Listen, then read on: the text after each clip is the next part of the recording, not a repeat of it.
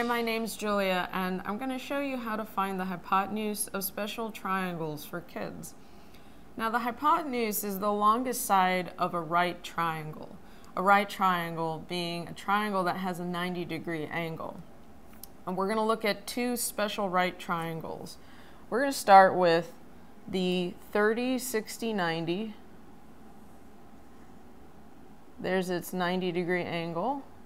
And then it has a 30 degree angle, a 60 degree angle. Hence its name 30, 60, 90. Now, if we take the shortest side, the side opposite the 30 degree angle, and we call that x, then the hypotenuse of, the, of this triangle is twice that value, 2x.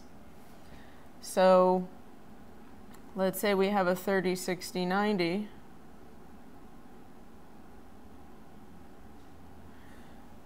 And we have a short side that has a length of 9. Its hypotenuse has a length of 18.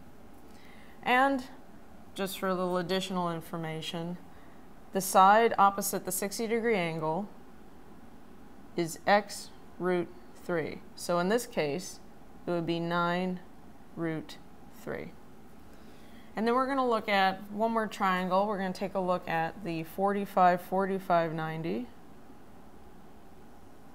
named so for the measure of its angles. We have 45, 45, and 90.